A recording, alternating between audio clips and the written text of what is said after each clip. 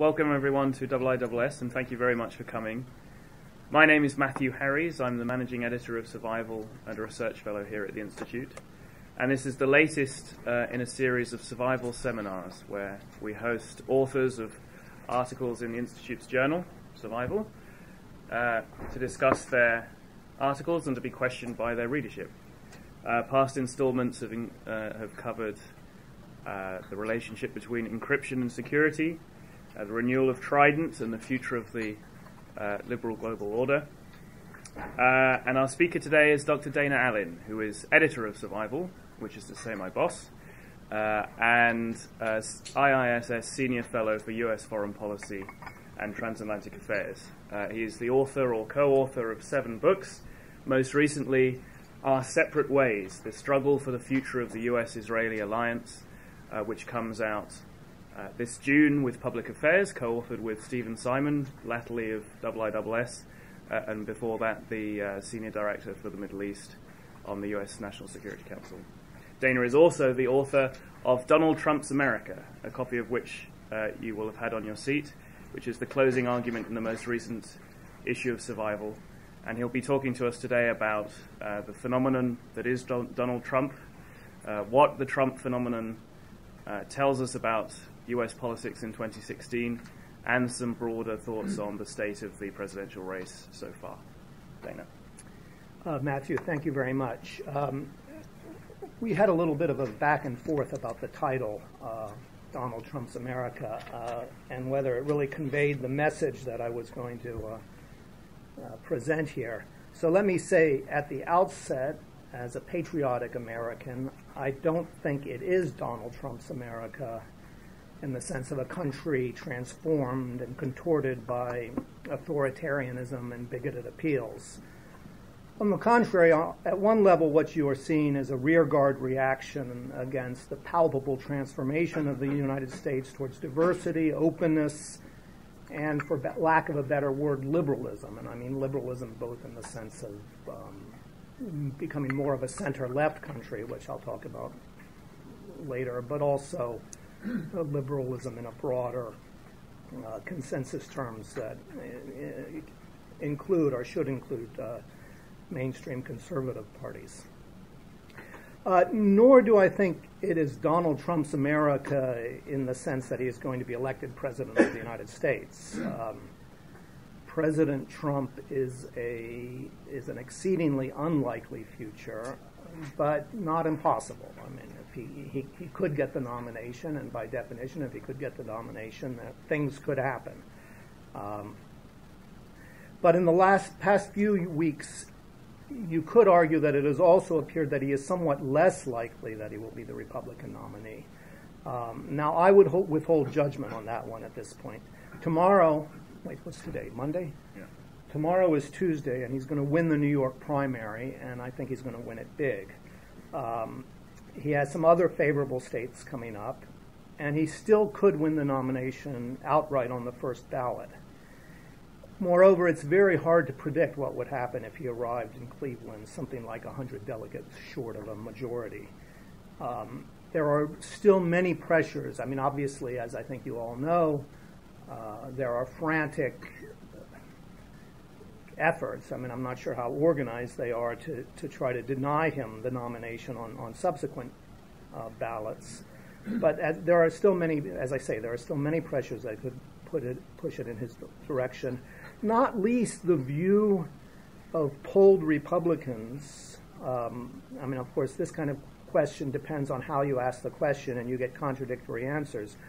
But polls suggest that the majority of Republicans believe that the plurality leader should be should win the nomination.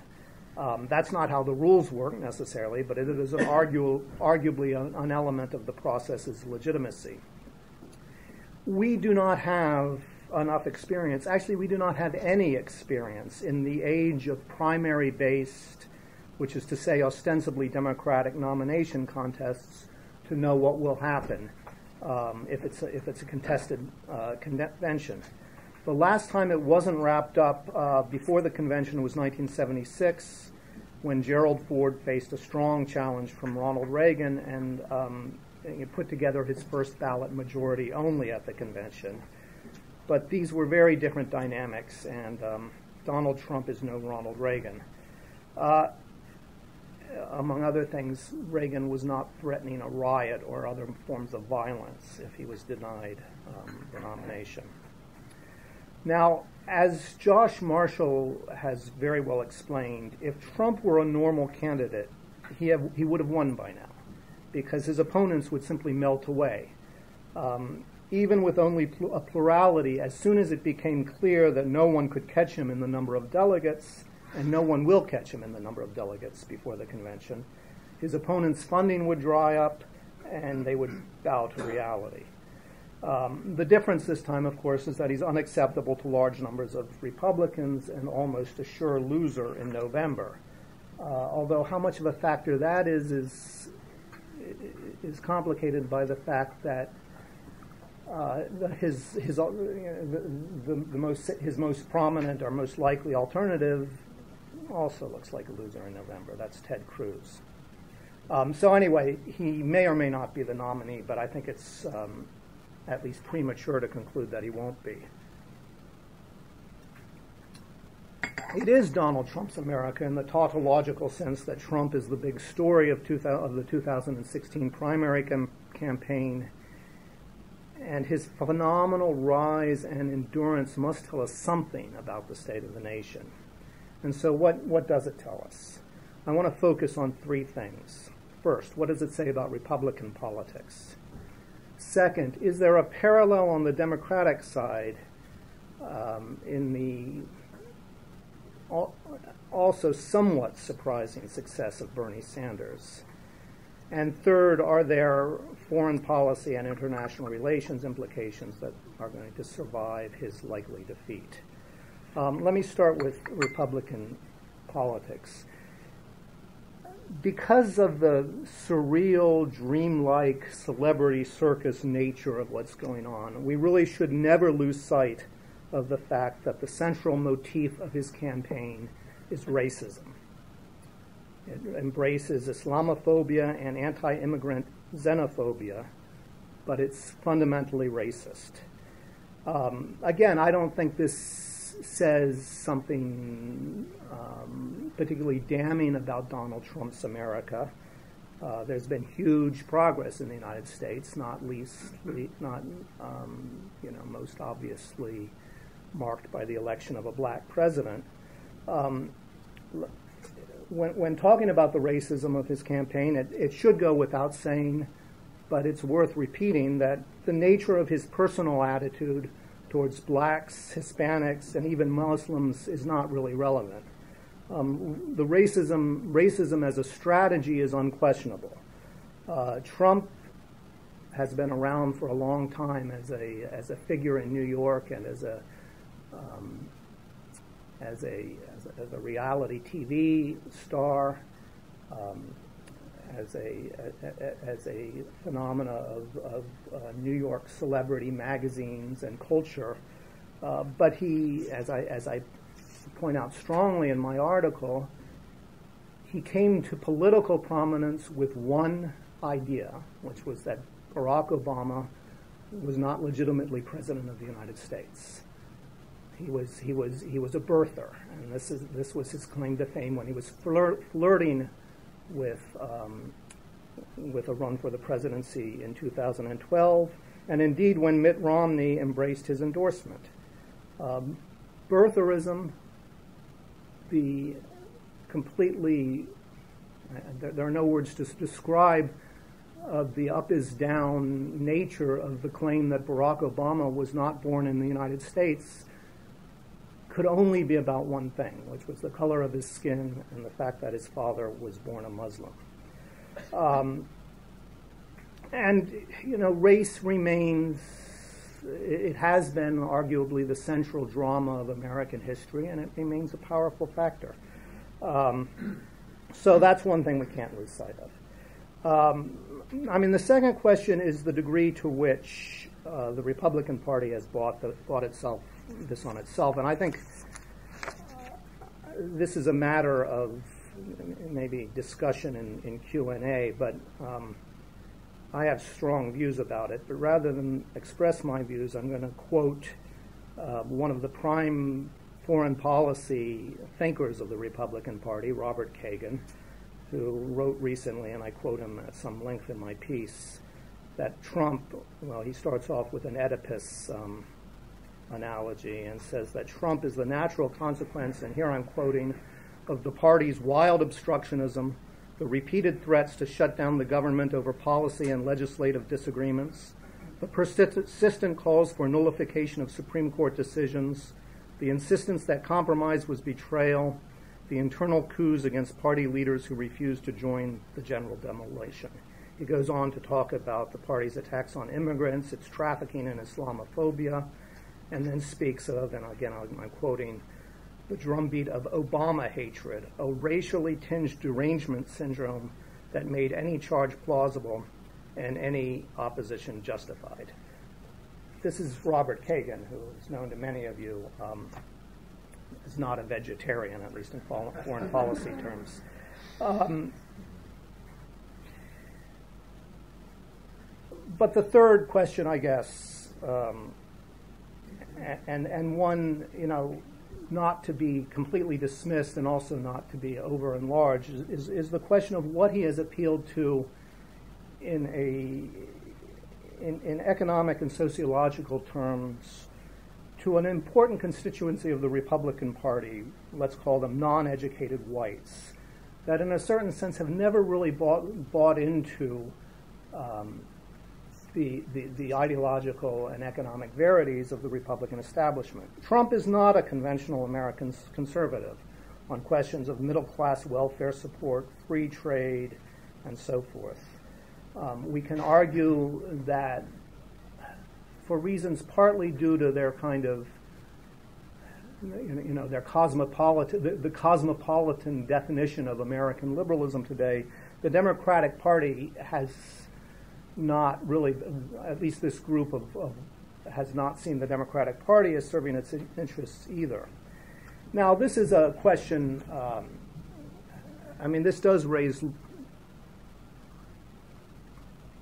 long term questions about what happens um, to American and, and frankly, Western uh, developed politics um, if income distribution continues to, to, widen, if middle class wages remain stagnant.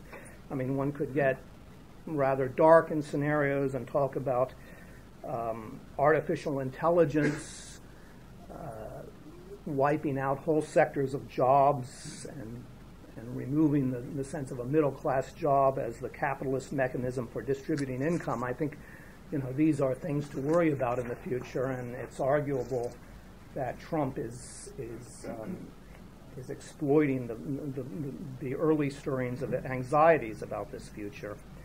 Uh, and this brings me to the Democratic side. If if if these kinds of uh, concerns about income distribution, for example, are a factor in empowering Trump, could that also explain the appeal of Bernie Sanders on the Democratic side?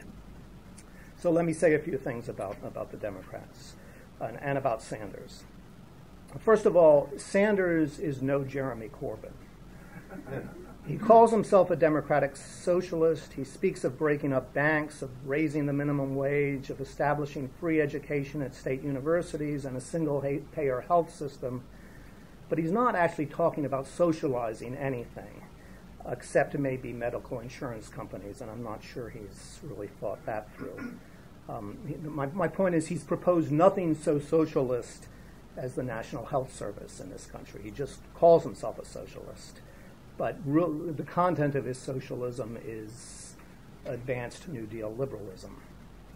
Um, you know, it's also the case that, and, and Jamelle Bouie in, in, Slate magazine this morning uh, had a long column making this point. He's not so unique insofar as Democrats usually, or at least very often, have an insurgent candidate who appeals mainly to white liberals.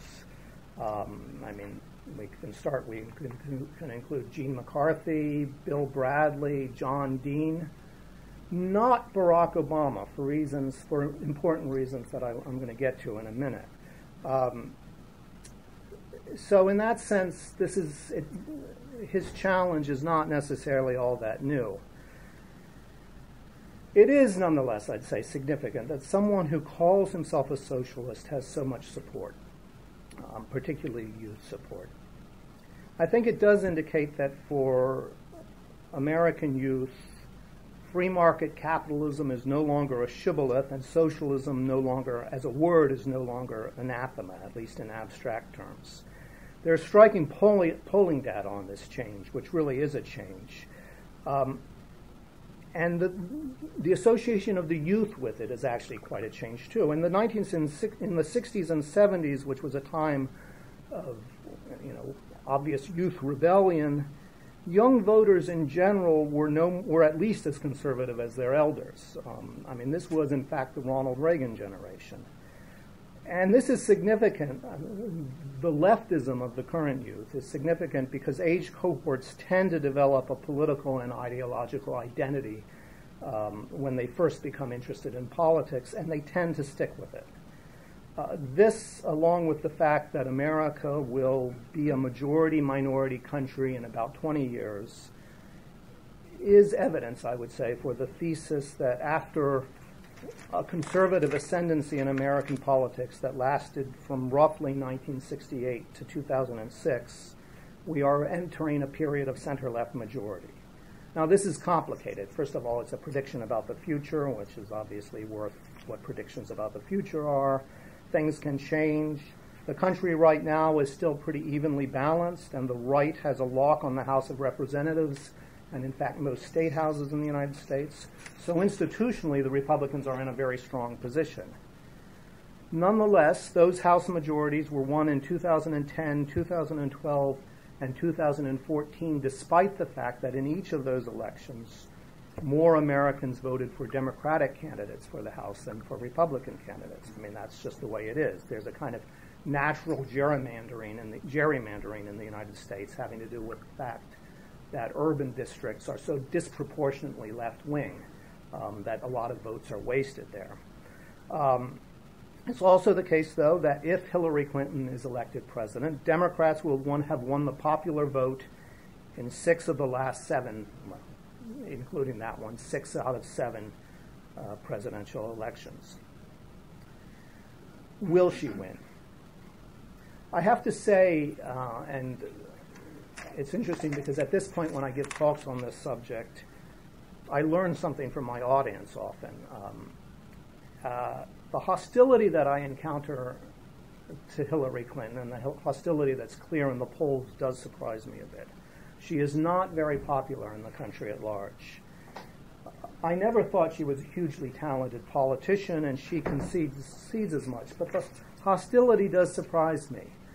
Uh, she's been around for a long time. She's been well known for a long time. There's a, the suggestion that the, the image that she has of scheming and ruthlessness, you know, frankly, I think stems from,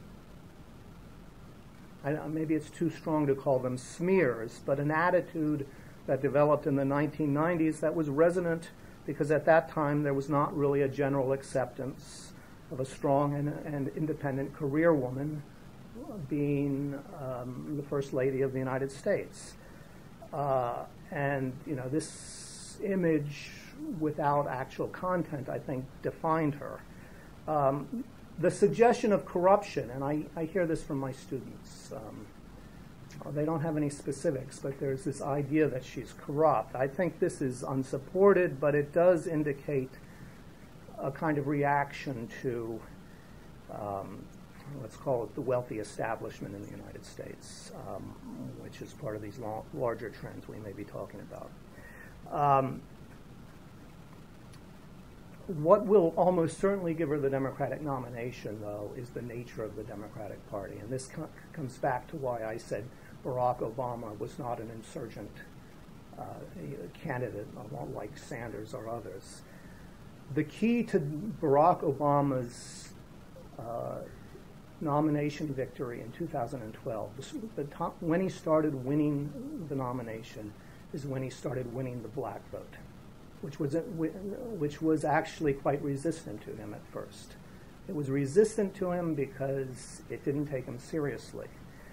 And, you know, black voters in the United States, I mean, the Democratic Party, I said the United States will be majority minority in about 20 years. Um, the Democratic Party is majority minority. And it is, uh, you know, the, the linchpin of that, of that coalition is, is the black vote, which is viscerally pragmatic. Um, it is, you know, the, the, Sanders team is perplexed that um, American blacks, to whom he thinks he, on economic terms, um, because of his history in the civil rights movement, although Clinton also had a history in the civil rights movement, but it just seems to, on paper that he should appeal to American blacks, but he doesn't. And I think it's because um, the average black voter, and here I think you have to think, I don't know if this is average, but a characteristic black voter would be a church going middle aged woman, is viscerally pragmatic. She has been around a long time. She's not particularly interested in soaring rhetoric or untethered claims that a political revolution is going to change America, because she knows America pretty well. Um, I mean, there's also the fact that the black community in the United States, in political terms, has a long association uh, with um, with the Clintons. But I actually think this innate pragmatism is is, is more important, um, and is the answer. You know, Sanders said the other day or the other week that. Um, his victories are more important than Clinton's because she's depended so much on the South, which is the most conservative region in the country. Um, but it, it, it, the Democratic vote in the South that she has depended on is overwhelmingly black. What about, um, I'll, I'll, I'll, finish in a moment. Um, foreign policy and international relations. What does the Trump phenomena tell us? The word isolationism is thrown about so often and so carelessly that it's actually quite useful to see an example of the real thing. Donald Trump is the real thing. Um, he says that Japan and South Korea should develop nuclear weapons to end their dependence on the United States. NATO is a bad deal for the United States, and it needs to either be amended or ended. Um, the Trump view of America's role in the world is purely transactional, and transactional in narrow terms. And um, his signature slogan is that America has been getting a rotten deal and it has some resonance. Complaining about allies free riding is not new, of course. Bob Gates and Barack Obama have both done so recently. But Trump does convey the sense he has this concept of the deal. That's the most important thing, and, and his concept of the deal means finally doing something about the, the bad deal that the United States has had with the rest of the world. Now, an important subsidiary is his rejection of the liberal consensus on free trade. Um, this is something that Josh Marshall has also emphasized, and it's very important. He's possibly the first, well, he's not the first. Maybe Ross Perot represented it as well, but uh, if he becomes the Republican nominee, he will certainly be the first major party nominee that serves, you know, an anti-free trade uh, constituency, which is in a certain sense underserved. Uh, I think that's a, a, matter that could be significant for the future, uh, but it has to do with uh, with the whole sense of whether the era of, of liberal institutional free trade may be endangered in, in a broader sense. Now, the um, the issue of uh, of survival, which um, Matthew has mentioned, which has my article in it, uh, and which it, I think will be the only issue of survival with a picture of Donald Trump on its cover, but we, can't guarantee that. Uh, is ha- has the sort of main title "Sovereignty and Disorder." Well, the lead article is by Michael Boyle, an associate professor at LaSalle University. What's the title of his article? The coming, coming illiberal order. The coming illiberal order. That's a slight overstatement of his thesis. Uh, like all good titles. Like all good titles, like Donald Trump's America. But you know, it is it, it is it is a worthwhile question to ask: Is Trump part of a bigger rise of, let's say, illiberalism in, in transatlantica? Um, and you know, here there are worrying signs. Hungary and Poland have explicitly illiberal governments. Um, they're not part of. I mean, they're, they're new uh, members of the West, but uh, it's certainly worrying the direction where they're going. Uh, any illusions about a liberal future for Russia are good and dead. Boyle's um, argument is that uh, not that illiberal states are taking over the international system, but they are asserting their place in it. And what this essentially moves means is that the dial of international consensus is going to have to move back a bit um, from, from the liberal consensus as established uh, in the post-war period, and he has a very interesting and sophisticated argument about the relationship between domestic liberal consensus and liberal international order. Um, some of you, I quoted, quoted in my piece, but some of you have probably seen Anne Applebaum's um, column worrying that we could be three elections away from the demise of the West. I mean, that's what her headline said, but she said in her article, Liberal International Order. The three elections she worries about are Brexit, uh, Trump, and Marine Le Pen. Uh, as I've said, of these three, President Trump strikes me at least, at least President Trump strikes me as very likely, but it's not impossible. And Applebaum points out elections are tricky things. Another big terrorist attack in the United States at a certain time, who knows? Um, Hillary Clinton literally slipping on a banana peel. I mean, many things could happen. Um, let me let me let me finish on just a couple faintly positive notes. Um, first, it has not been an edifying Republican nomination fight.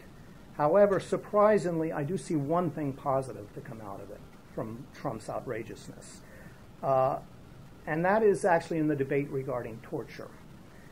One of the most shocking things to me after Obama's 2008 election uh, was his effort and the opposition of Republican leaders to reestablish an unequivocal consensus, political consensus against torture in the United States. He established this. He, he established this. He reestablished this prohibition um, as a matter of policy, but the fact that it was still debated politically was very worrying. Uh, you know, with honorable exceptions like John McCain and I think Lindsey Graham, it was quite it, it was quite shocking. Trump may have done something positive in that regard because he has actually been so outrageous that he has forced other candidates to take a stand. So, for example, uh, Ted Cruz, um, he doesn't go far enough in my view. He insists on definitional quibbles about whether waterboarding is torture but he says we shouldn't reinstate waterboarding. Uh, and um, he has come out actually with some fairly forthright language uh, against uh, Trump's explicit call for, calls for torture. Um, the second thing I would say, and uh, since I'm out of time, I won't elaborate this. Hillary Clinton probably will win, and she's going to win by running for a Barack Obama's third term, which is actually a very difficult thing to do. Um, and uh, we only have limited.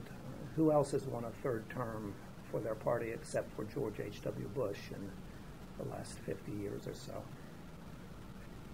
No one, I think. Um, but I, one reason, I mean, part of the reason why she has good prospects for doing so is, are obviously is obviously the implosion of the Republican Party. Uh, but the other reason is because Barack Obama has been on the whole, and against all odds, a very successful president. Um, I'm ta- happy to to back up that argument in Q and A or perhaps another talk. But in any event, um, Donald Trump's America, the one I'm looking at today, doesn't look like such a bad place. Uh, there are worrying signs. Applebaum, I think, is right to worry about the fragility of the liberal consensus. Ross, I never know how to pronounce his name, the most interesting conservative, one of the most interesting conservative writers in the U.S., New York Times columnist Ross Douthat, Douthat, however you pronounce it, um, suggests this is a good warning for us because if authoritarian politics changed America, this is what it would look like. Dana, thank you very much. Um, it's been a shocking rise, and we're still trying to get to grips with it, but I think that helped. Um, we've got half an hour for questions. Uh, we'll take uh, three at a time. Please introduce yourself at the start of the question.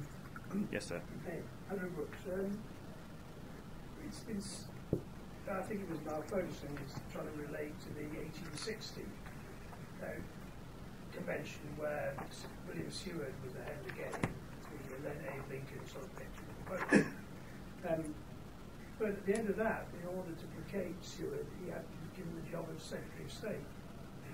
Um, is Secretary of State any better than worse? Than, and if he didn't, he'd have to be given something. How, how do you see that panning out? Ben. Okay.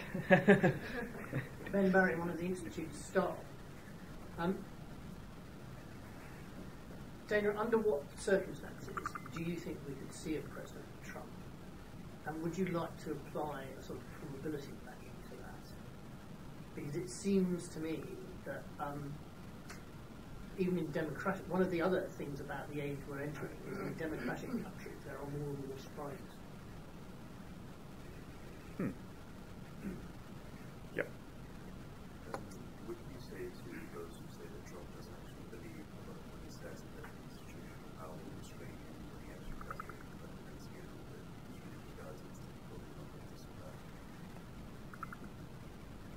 three great questions.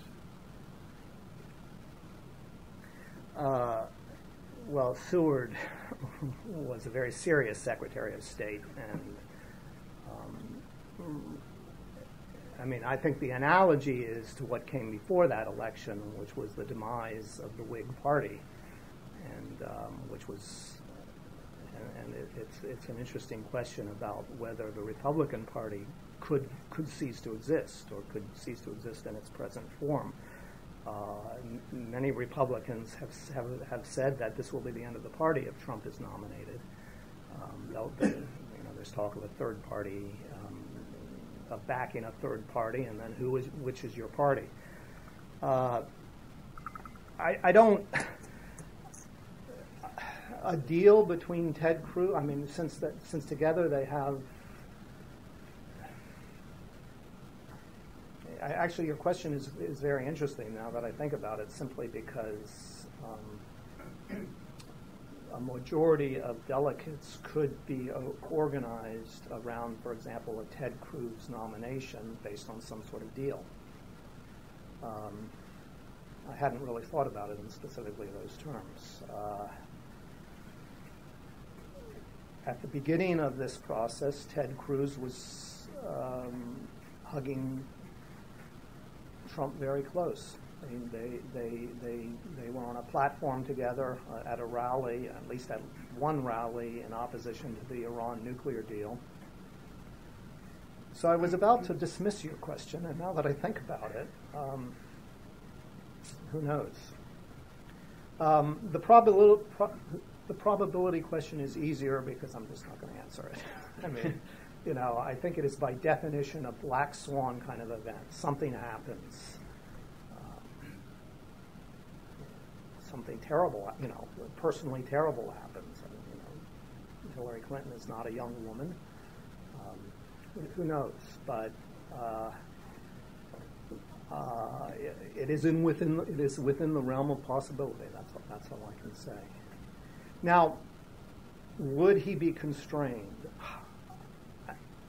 No norm of politicking or even self-interest has constrained, constrained him yet. He, he's proven incapable. He sort of indicated and realized at a certain point when he was really cruising to get the nomination uh, that he needed to start appearing more presidential. He, he, he, jokes about the fact that his wife and daughter tell him this.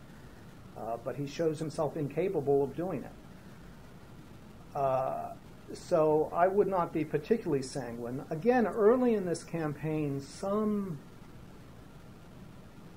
uh, centrists and even liberals were saying he might be the least bad, uh, from their point of view, the least bad solution. A, because he'd almost certainly lose, but B, even if he won, he's not so dogmatic on, on, on issues that are, um, uh, know, on a dogmatism that I think has, has really um, constricted and, and, and crippled Republican policy thinking. So you can tell. I mean, even I was flirting with this idea. Uh, he would make, you know, he would make deals for and this was the idea. But I think now that we've any such suggestion in my mind is um, is outweighed by his recklessness and you know genuinely authoritarian uh, instincts. Um, his his language is the language of violence. Um, his political language is the language of violence. So I wouldn't um, count on him reverting to some more um, acceptable face once he was sworn in. Thanks, Nick. Uh, yes. Thank you, Chairman. Gordon Wilson. Oh. Fellow of the Sea and uh, member here. Um, from what you said about free trade, are you saying that concepts like TTIP and TPP are really dead in the water and whatever gets it, whatever uh, orientation it be, uh, will have see red in the parts, they detour. No, I'm not saying they're dead in the water. Um, although, you know, I, I, really don't know enough about the, the, the vote count on uh, TPP uh, to know what's going to happen. Um, I think that it's conceivable that TPP could go down, and TTIP it might be necessary at that point for um, senators and congressmen to. I guess it's only in the Senate, right? It's a trade treaty. Uh, for senators to uh, want to show their free trade credentials by compensating with with TTIP, which is not, you know, does not raise the same, same kinds of issues about low wage competition and so forth. Um, so no, but I'm not predicting either of the, the, the, demise of either of them. What I am saying is that um, something very limited, which is limited mainly by my knowledge of the field. But my sense is that you know, we do have to take seriously the fact that um, you know how many years? 25 years after NAFTA. Uh, it's a very dirty word in the, in, in the industrial Great Lakes, in the Middle West. So if it was going to be an unalloyed success for people who are need to be convinced of this, um, somehow it hasn't convinced them. Uh, now, what their problem is may have very little to do with free trade and have, may have more to do with uh, with a hollowing out of middle class employment and middle class wages that could have a lot of factors. And I'd be very worried about that in the future. Um, and I know I sound like a luddite in this, but I, I, think the artificial intelligence problem is a real is a real threat in this regard. Um, it's not a threat to our economies. It's going to make us all much richer. I mean, in aggregate. It's just a question of distribution of that wealth. I think that's Jonathan Marcus in the row behind. Yes. Oh, it isn't. Sorry. Sorry, I'm Pat Gordon from the Research Analyst in the Foreign Office. Uh, one question I have really Close. is uh, it's not going to be Trump winning the nomination, therefore it has to be Ted Cruz, and I think that's pretty well agreed now. There's no going to be sort of a white knight coming from outside. So are we going to have a sort of session in three months' time when Ted Cruz is America? Because actually that's one of the Conservative, strictly speaking, than, than Donald Trump's. And I was wondering about the link between the Republican establishment, who very recently have taken uh, arm's length or even further from Ted Cruz, now beginning to sort of get ready to embrace him somehow, uh, and if you like, try and mold him to an acceptable candidate. So I wonder if just we've underestimated Trump so far in the primary, are we underestimating Ted, Ted Cruz in the general? And unless I really need glasses, that's Nigel Inkster in the front row. you did. right. Yeah, sorry, uh, Dana, a two-part question, if I may. Um, on the subject of uh, Hillary Clinton, and, in the, the, strong likelihood that she will win the Democrat uh, nomination and the uh, probability that she may well uh, secure the presidency. Um, a second example of dynastic politics in the United States that would seem to run somehow counter to the ideals of the founding fathers.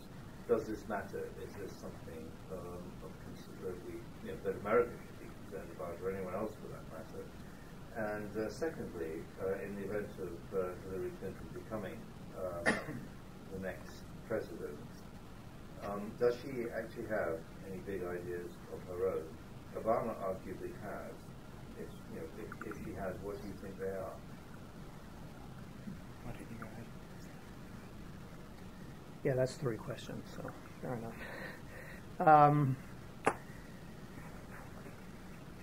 I think you're probably right that if it's not Trump, it will be Cruz, although we're in un, un, un, uncharted waters. Uh, if, if, you know, if it's an open convention, it could be an open convention. But the problem is, uh, I mean, evidence for your assumption is that people talk about brokered conventions, but as someone said, this, you know, this this this this party doesn't look like it could organize a two-car funeral at, at this time. I mean, um, and uh, so its ability to broker or anything is questionable.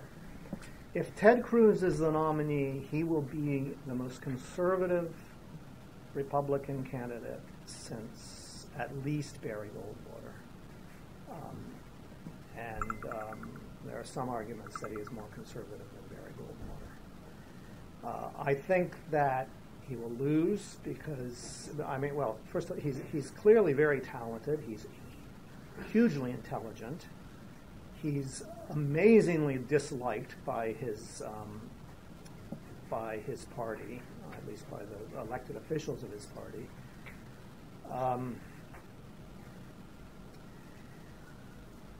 there was a piece by Peter Beinart a few days ago which struck me as rather wise. Um, the party should get behind. It's his, he's, he's their best option, and I'll tell you why. I'll, I'll, tell you why Beinart said this, but I kind of agree with it. Uh, he will lose, uh, you know, you know, subject to the obvious caveat that I have no idea what's going to happen next week, much less in November. But I'm, if I'm confident about anything, he's probably not much less likely to lose than than Trump. Uh, but he will take he will he will represent a defeat for extreme right wing republicanism that I suspect the Republican establishment um, could see the value of. Uh, then you could return to you know the sort of the Mitt Romney center, uh, but allow the Mitt Romney center to be genuinely centrist, which Romney really wasn't able to be, despite his instincts. Uh, and so, you know, you, I mean, this is, again, this, this is two, three steps or four steps of organization and strategy that is probably, you know, beyond what most people could accomplish or most parties could accomplish. But it makes a certain amount of sense. Uh, so, uh, so that's Cruz. Um, dynastic politics. Well, it's not the first dynasty. Um, some, some, at one point, I read, I mean, I'd have to rethink this, but I think there has been a Bush or a, um, oh no, McCain. Up until up until George W. Bush's uh, um, the end of his term, there had been a Bush or a Dole on every Republican president, every Republican candidate candidacy going back to 19. When when when was Bush first? Uh, no, when was Dole? 76, 76, right, 76. Um, so there are dynasties in American politics. It's not particularly egalitarian or democratic. I agree with you. Um, Hillary Clinton, however, is um, how shall I put it? She is uh, has been on the national stage now. I mean, she was elected in her own right in 2000. Um, she turned turned out to be a pretty effective uh, senator. Which was it 2000? Yeah, that's right. Yeah. Uh, she was Secretary of State. I mean, I, you know, I, it, it's not as though she's simply the wife of a former president. That's, that's all I can say about her. Um, does she have any big ideas? Um, she's not a visionary. She's not an ideologue. Um, I think she she has a view. I think she has inherited from her husband, or, or part of her experience, part of their joint experience, is the idea that American politics is a slog. It's trench warfare. It's not Bernie. Bernie Sanders has big ideas, although they're not particularly um, detailed. Uh, but his main idea is the idea that this is going to be uh, implemented through something he calls a political revolution, which we're not, you know, we are not having political revolutions in the United States. It's, it's, it's, a, it's a fantasy. Um, and, you know, in, in, this sense, I think her realism is, um, you know, it's not inspiring, but, uh, but it's serious. Okay, yes, sir. It's Masato Kimura, Japanese freelance journalist. If possible, I would like to have uh, two questions. So, uh, could you make a comparison between uh, U.S. presidential campaign and EU referendum in the terms of of white anti-elite backlash. And the second question, uh, this project is, is still going on uh, after uh, presidential election and uh, disappearing. Sorry, what's going on? So, oh, oh, so this trajectory, so oh, this trajectory. Yeah, yeah, yeah, um, we're talking about the British EU referendum. I guess that's the only one right now. I want to add a question okay to that because it relates to the same thing, which is that if there was one, if there was one takeaway of the Republican establishment after 2012, it was that with the demographic change in the United States, the next Republican nominee for president had to appeal to Latino voters. This was the one major, major change, and that after the defeat of a white billionaire um, uh, and the, the failure to pick up any Latino votes, things had to change the next time round. And the front runner is now a white billionaire who hates Mexicans. Uh, what happened? Were the is it can you is it just that Rubio and Bush were two bad versions of the candidate that the Republicans should have nominated, and that's why they failed? Or is it simply impossible for the Republican Party to nominate for a candidate to win the Republican primary and appeal to the um, portions of the electorate that Republican needs, Republican Party needs to win a general election? Is it actually? And then in the back row. Oh yes. Um, um, Dana, do you mind sort of baselining the underlying forces driving Trumpism? And you mentioned that many of them aren't new, and I completely agree with you on that.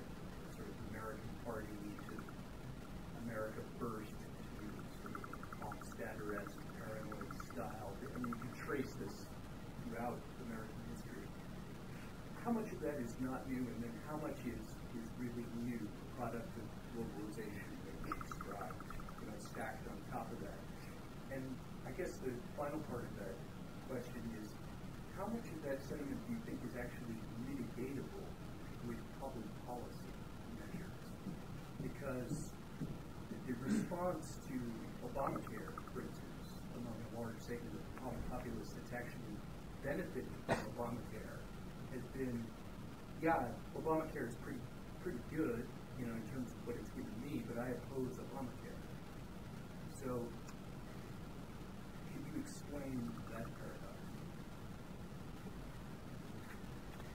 Well, I think that. Um, starting with the first question, is there any comparison between the U.S. presidential campaign and uh, the Brexit movement?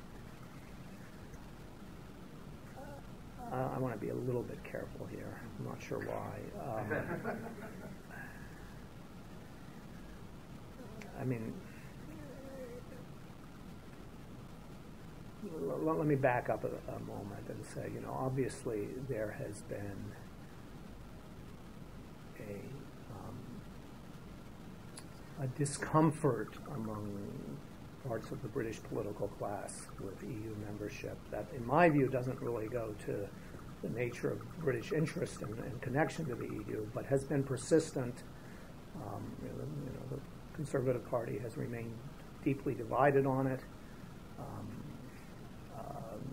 Matthew, in a piece he wrote recently, quoted, um, you know, one of Cameron's early speeches where he was saying, you know, the British public are tired of us. You know, they're, they're worrying about schools for their kids and child care and, and their jobs, and we keep on rattling on about Europe.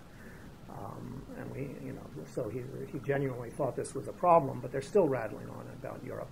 I, I, I guess what I'm trying to do is, is make a concession to the discomfort of this relationship with Europe for I, I don't quite understand it, but then I'm not British. Um, so um, uh, what it does, uh, and, and, and, so therefore, you know, it seems to me that what the possibility that uh, the referendum re- result is going to be for Britain to leave the EU, it's is probably more contingent than the, the than a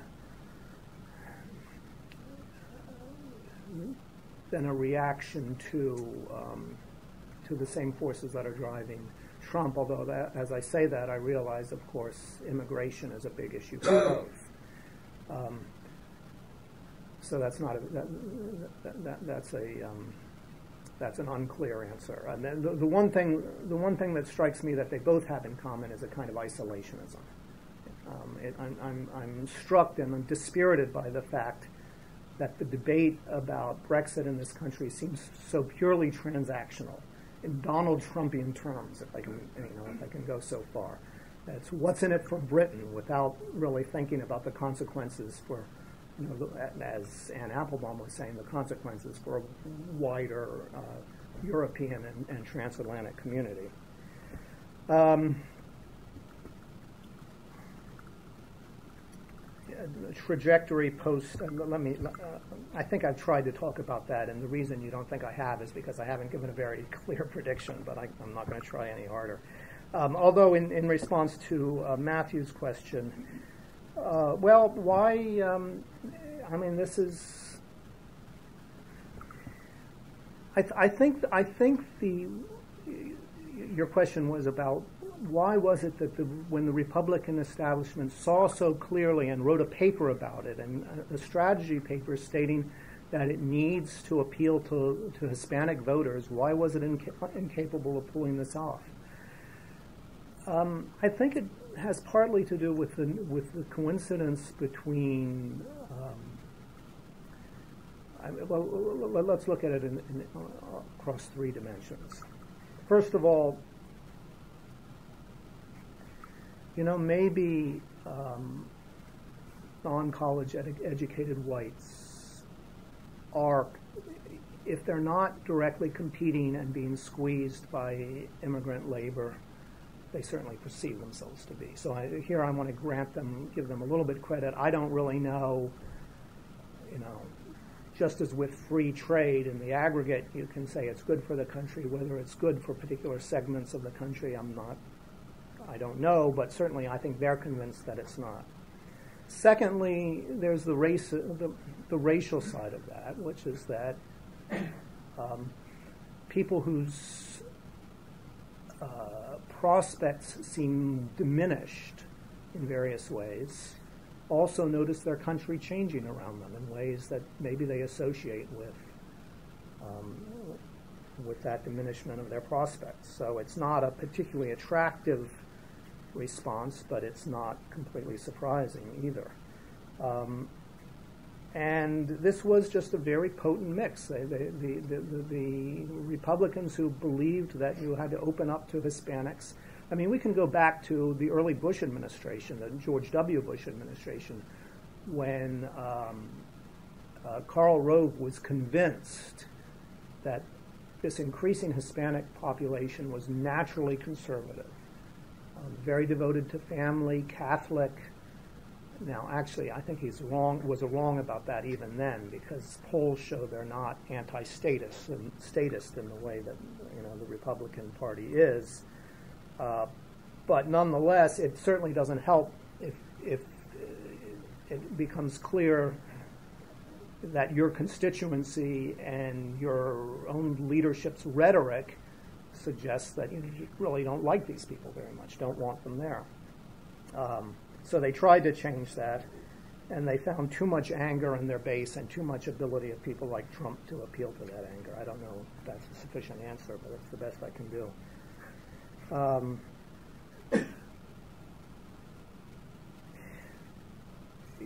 on the question of whether the, the Trumpism is a reflection of uh, enduring factors in American politics or uh, a response to globalization, it seems like both.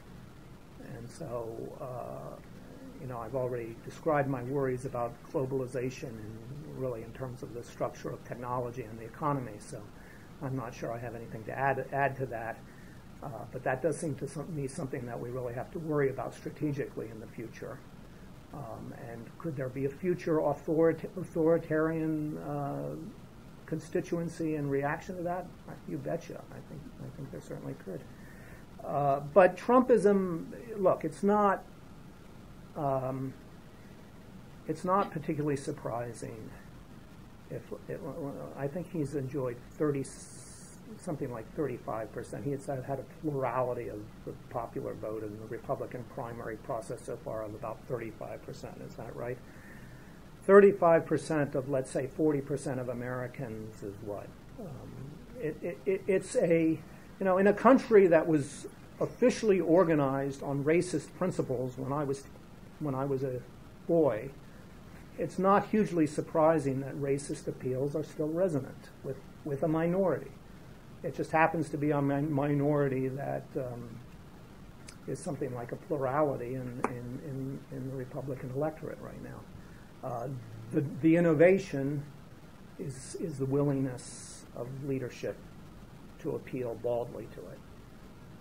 And um, so there's nothing inevitable about that in my view. It's, it's, it, it's the decision of one man and some other men.